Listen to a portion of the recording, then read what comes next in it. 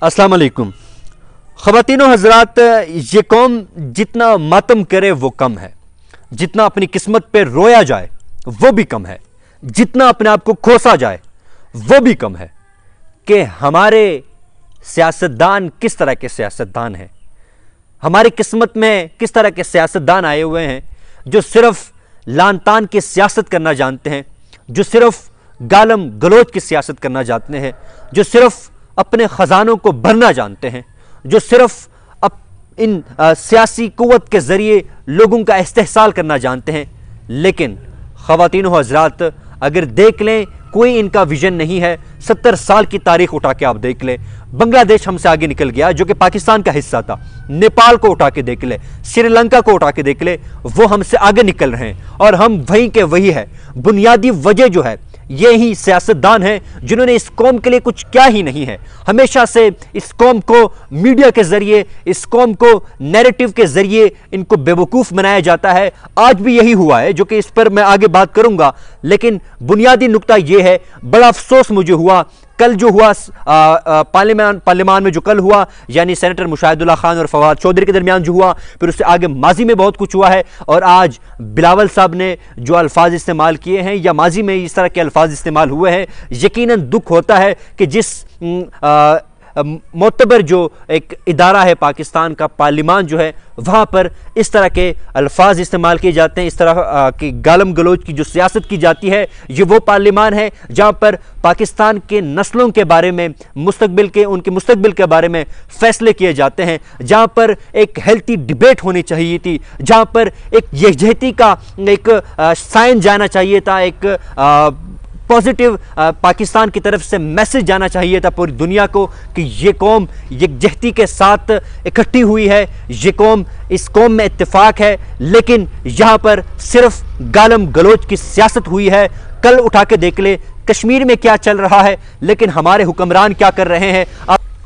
بدقسمتی تو یہ ہے، خواتین و حضرات، کہ کشمیر میں کیا چل رہا ہے؟ کشمیر کس حالت سے گزر رہا ہے؟ کشمیر کے بھائی، کشمیر کی بہنیں، کشمیر کے جو وہاں پہ لوگ ہیں، وہ کن حالات سے دوچار ہے؟ کرفیو نافذ ہے، لوگوں کی زندگیاں اجیرن ہو چکی ہے، لیکن ہمارے سیاستدانوں کا جو وطیرہ ہے، میرے پاس الفاظ نہیں ہے کہ ان کے جو سٹیٹس کو، ان کی جو اہلیت ہے، ان کے لیے کیا الفاظ میں استعمال کروں، کیونکہ ہمیشہ سے وہ صرف تماشا دکھانا جانتے ہیں، صرف لوگوں کو بیوقوف بنانا جانتے ہیں۔ اگر ایک سرکس میں جو لوگ ہوتے ہیں، جو تماشا دکھاتے ہیں، جو اداکار ہوتے ہیں، یہ صرف وہی اداکار ہے جو کہ اداکاری کر کے قوم کو بیوقوف بناتے ہیں۔ کوئی ان کا ویژن نہیں ہے، کوئی ان کی سوچ نہیں ہے۔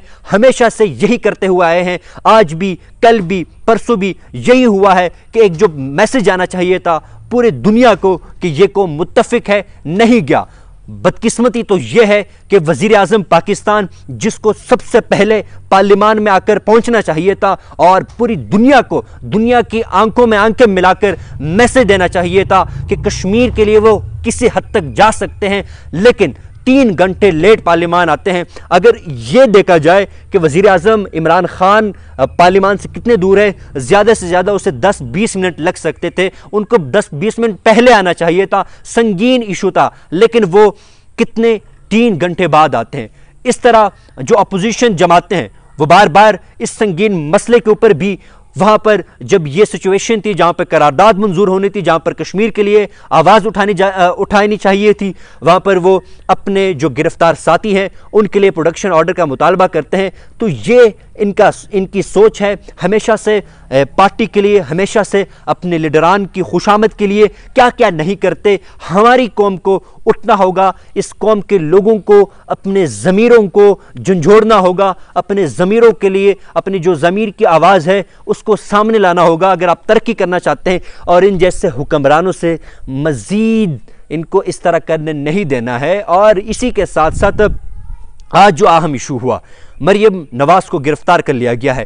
یقیناً وہ پندرہ اگست کو، پندرہ اگست کو وہ مظفر آباد میں کشمیر کے ساتھ جو ظلم ہوا ہے، اس کے خلاف جلسہ بھی کرنے جا رہی تھی۔ لیکن آج نیب کو شاید اتنی ہی زیادہ جلدی تھی۔ مجھے جو لگ رہا ہے، اس گرفتاری کے دیکھتے ہوئے وہ یہی ہے کہ اس کشمیر کا جو ایشو ہے، اس کو اس سے توجہ ہٹانے کے لیے یہ اقدام اٹھایا گیا ہے۔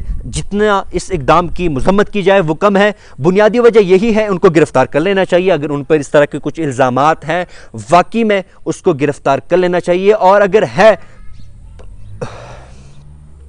ماں۔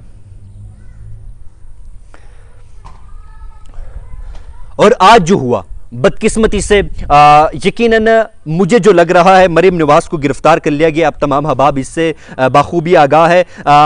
لیکن سوال یہ پیدا ہوتا ہے کہ کیا گرفتاری اتنی ضروری تھی کہ جہاں پر ملک اس سنگین حالات سے حالت سے گزر رہے ہو گزر رہا ہو؟ نہ نہ بس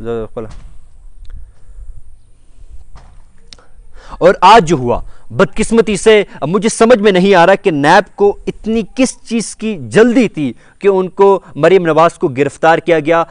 مجھے جو ذاتی طور پر لگ رہا ہے، عمران خان کی حکومت بے بس ہو چکی ہے۔ لوگوں کی کشمیر سے توجہ ہٹانے کے لیے یہ گرفتاری عمل میں لائی گئی ہے اور یہ آج نہیں ہوا ہے۔ ماضی میں بھی بار بار یہ ہوتا رہا ہے کہ جب بھی اس طرح کی کوئی سچویشن آتی ہے، جب بھی اس طرح کا کوئی سین آتا ہے پاکستان کے حوالے سے، جب بھی پاکستان اس طرح کے حالات سے گزر رہا ہوتا ہے، جہاں پر حکمران بے بس ہوتے ہیں، تو وہ یہی کرتے ہیں، کوئی اس طرح اقدام اٹھاتے ہیں، جہاں پر عوام کا پورا مائنڈ ان کی پوری سوچ، ان کی جو توجہ ہے، وہ اس ایشو سے ہٹ کر جو ایک اور تماشا کڑا کر دیا جاتا ہے، جو ایک اور اداکاری کی جاتی ہے، اس کی طرف مبزول ہو جاتی ہے۔ تو آج بھی یہی ہوا، کوئی نیا نہیں ہوا، لیکن افسوس اس بات کا ہے کہ جہاں پر ملک اس سنگین حالات سے گزر رہا ہو پر کشمیریوں کے ساتھ جو ظلم ہو رہا ہے، وہاں پر حکومت کو چاہیے تھا کہ اس طرح کے اقدامات سے باز رہیں اور کیونکہ ہم نے پورے ملک نے ایک یکجہتی کا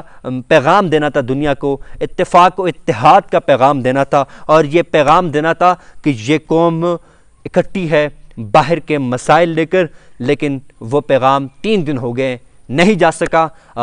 الفاظ نہیں ہے کہ آگے کیا کہوں، لیکن یہ ضروری ہے کہ ہم عوام کو اب سوچنا چاہیے کہ کب تک اس طرح کے لیڈران، اس طرح کے حکمرانوں کے ساتھ ہم اپنا تعلق جوڑے رکھیں گے اور ان کو پارلیمان کا حصہ بنائیں گے، ان کو پارلیمان میں بھیجیں گے۔ یہ سوچنے کی بات ہے، اس پر لازمی سوچئے گا۔